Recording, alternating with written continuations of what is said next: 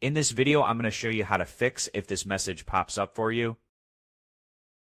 NetWSW000 sys blue screen issue on Windows 11 or Windows 10 computer.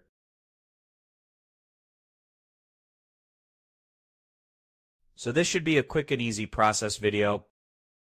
Now without further ado, just go ahead to the search menu, type in Device Manager. Now the first result, go ahead, open the app. Then just give it some time to load.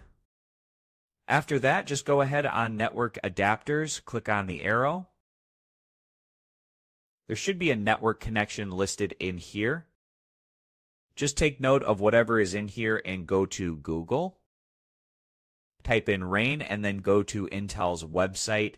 Now, if you double click here and go to drive section, you can see the drive date and version. Just search it up there.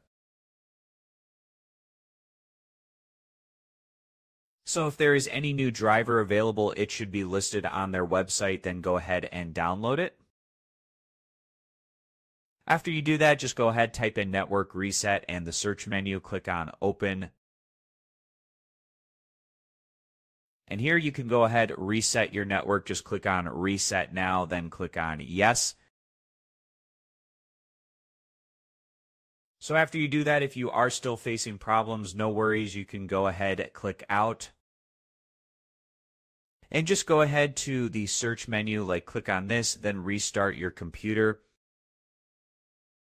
So this was an easy process video as always. Thank you for watching.